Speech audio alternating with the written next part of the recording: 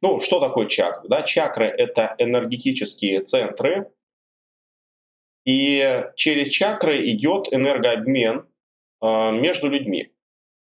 То есть э, чакры представляют из себя некие водовороты энергии, через которые человек общается с другими людьми. Также каждая чакра генерирует энергию определенной частоты. Чем выше чакра, тем а, генерируется более высокочастотная энергия.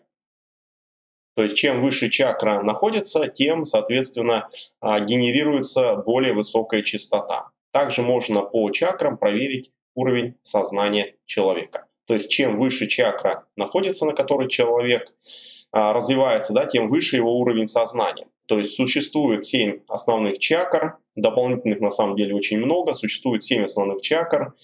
А, также существует 7 э, уровней сознания и 4 касты. То есть первая каста, она соответствует Муладхара чакре, самой базовой чакре. Это каста работников, вторая каста – это каста купцов, соответствует Сватхистана чакре. А, третья каста – это каста воинов, соответствует Манипура чакре. И четвертая каста – каста мудрецов или магов, как ее по-другому называют, она соответствует Анахата, Вишут, Хаджна и Сахасрара чакре.